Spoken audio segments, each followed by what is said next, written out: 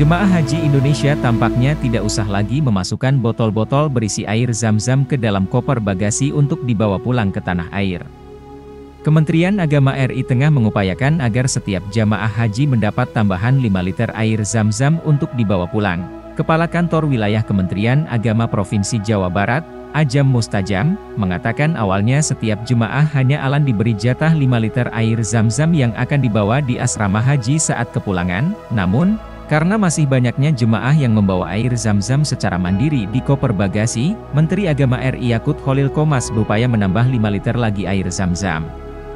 Ada berita menggembirakan dari Pak Menteri, bahwa Pak Menteri berupaya tahun ini bahwa seluruh jemaah haji itu harus mendapat air zam-zam dari hanya 5 liter menjadi 10 liter.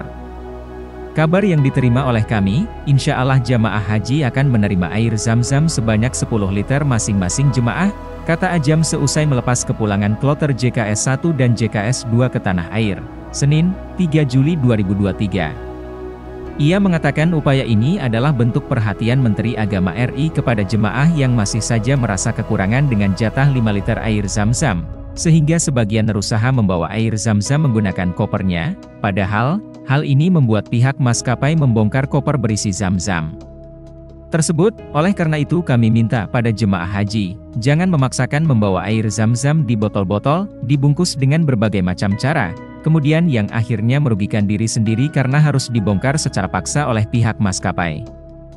Katanya, akhirnya yang tadinya maskapai hanya berniat mengambil air zam-zam, malah merusak barang bawaan yang lainnya yang sudah ditata rapi, jadi cukuplah 10 liter masing-masing jamaah, lebih dari yang dibawa jemaah di di masing-masing koper, kata Ajam dan ya ini ada berita menggembirakan dari Pak Menteri bahwa Pak Menteri berupaya tahun ini bahwa seluruh jemaah haji itu harus mendapatkan air jam-jam dari 5 liter menjadi 10 liter. Nah, kabar yang diterima oleh kami, insya Allah uh, jemaah haji itu akan menerima air jam-jam sebanyak 10 liter masing-masing jemaah. Nah, oleh karena itu, ya kami minta pada jemaah haji itu ya jangan memaksakan membawa air jam-jam di apa di botol-botol aqua dibungkus dengan berbagai macam apa cara. Lalu kemudian yang akhirnya merugikan dia sendiri harus dibongkar, dibongkar secara paksa oleh pihak maskapai.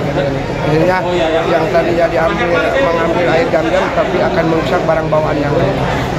Jadi cukuplah 10 liter masing-masing jemaah bawa lebih dari lebih dari apa namanya uh, jam-jam yang dibawa di masing-masing koper itu.